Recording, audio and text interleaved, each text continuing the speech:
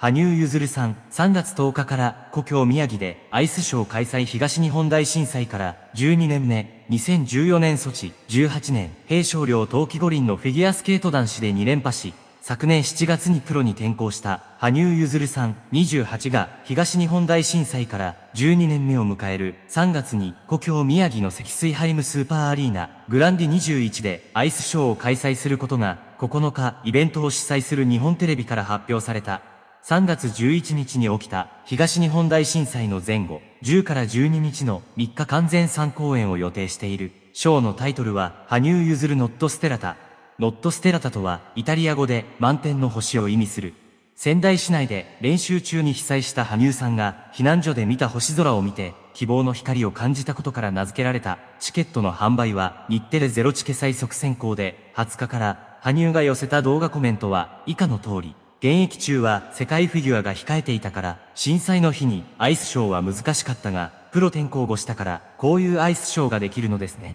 プロローグから定期的にアイスショーの出演が決まり、順調で良かったです。震災の日、11分の3、鎮魂アイスショーですね。日テレ主催、うなずけます。羽生選手、プロになってから待ったなしのアイスショー、ついていくのが必死。嬉しいやら忙しいやら、経済的にも迷ってしまう。ずっと心に思っていらしたショーだと思います。故郷に明かりを灯すため、五輪で偉業を成し遂げてきたのでしょう。本当はもっと早くプロの世界で叶えていきたかったと思います。はっきり言って、競技の世界にいた時より、ハード、レベルも明らかに上がっています。こちらが心配になるほどの暴殺ぶり、どれだけやりたいこと、成し遂げたい夢を、こらえて競技に向き合ってきたんだ。まだ生でスケート見てない方にも届けたいとのことでしたね。おそらく落選を続けるファンにもどこかで見れるようこんなにたくさん賞を予定してくれてるのかもしれません。遠い昔、漆黒の闇に輝く星たちに誓った思いを忘れない。澄んだ透明な心意志の強さ、見送ってきた忘れ物落とし物を一つ一つ取り戻しているようで胸が熱くなります。